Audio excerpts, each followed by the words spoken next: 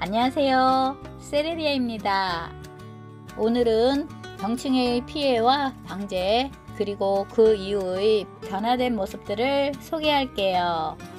식물을 오래 키우다 보면 병충해는 누구나 겪는 어려움이 아닌가 생각되어집니다.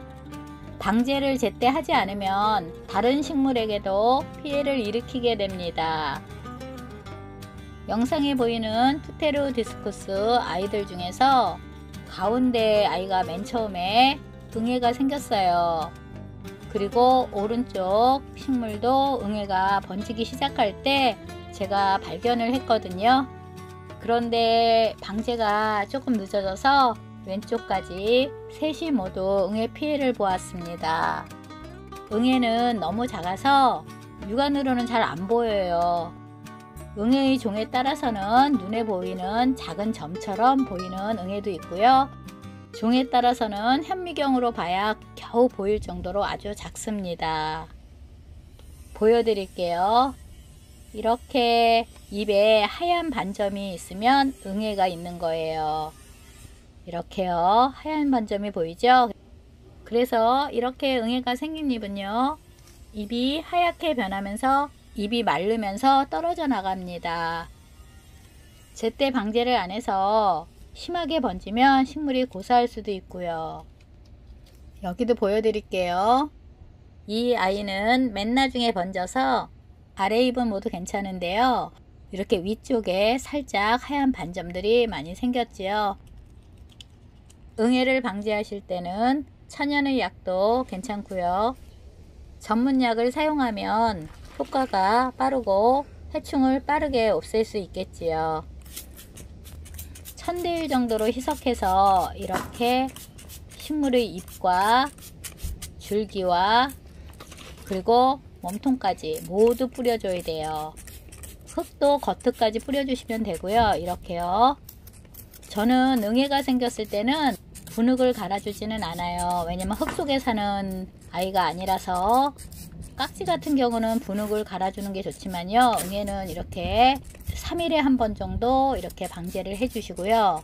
한 5회 정도 방제를 한 것 같아요. 왜냐면 심하지 않으면 한 3회만 방제해도 되는데 지금 가운데 식물은 잎이 거의 다 떨어져 나갔어요. 한 5회 정도 방제했고요. 나중에 한두 번 더 방제를 해주는 것이 좋지요.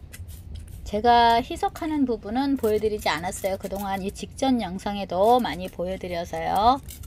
이렇게 응애 피해를 봤을 때는요. 그 화분만 방지할 것이 아니라 그 주위의 모든 화분도 같이 한 번씩 스프레이를 해주는 것이 좋습니다. 현재의 모습인데요. 이렇게 응애 피해를 본 잎은 하얀 반점이 있지요. 그리고 방제 후에 새 잎은 이렇게 말끔합니다. 다른 아이도 한번 보여드릴게요. 이렇게 하얀 반점이 있고요. 새 잎은 이렇게 깔끔합니다. 깔끔하죠? 이렇게요. 하얀 반점이 보이시죠?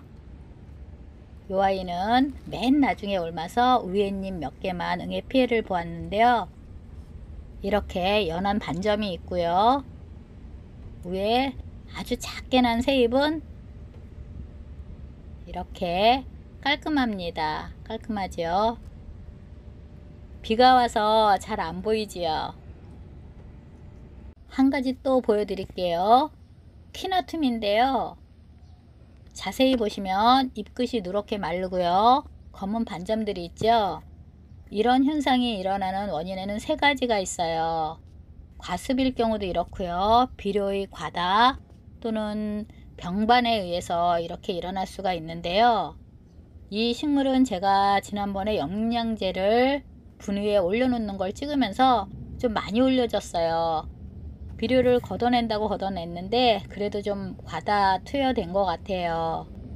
그리고 올 봄에는 장마처럼 5월에 비가 많이 왔는데요.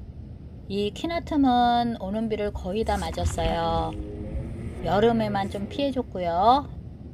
그러다 보니까 이 끝이 마르고 검은 반점이 생기는 원인에는요. 비료의 과다와 가습 그 두 가지 원인이 모두 원인이 되어서 이렇게 변한 것 같아요. 이 잎들은 모두 나중에 말라서 떨어졌고요. 여기 이렇게 오늘은 초록색으로 그 잎은 떨어지고 새 잎이 나서 이렇게 싱싱해졌어요. 둘 다 아주 이렇게 깔끔하게 회복되었는데요. 비료를 과다하게 주면 왜 이렇게 변하냐면요. 흙에 비료를 주면 흙의 농도가 식물체의 체액보다 농도가 짙어져서 삼투 현상에 의해서 식물의 체액이 흙 밖으로 나오기 때문에 식물체가 마르는 거예요. 그래서 비료의 사용은 신중해야 하고요. 넘치면 부족하느니만 못할 수도 있으니까 잘 용량을 지키시기 바랍니다. 유카속 데스메티나인데요. 제가 분갈이를 하고 나서 한 달 정도 지났나요? 그런데 이 끝이 이렇게 누렇게 변하기 시작하면서 점점 누렇게 번지더라고요. 식물의 잎끝이 이렇게 번지는 원인도 세 가지가 있어요.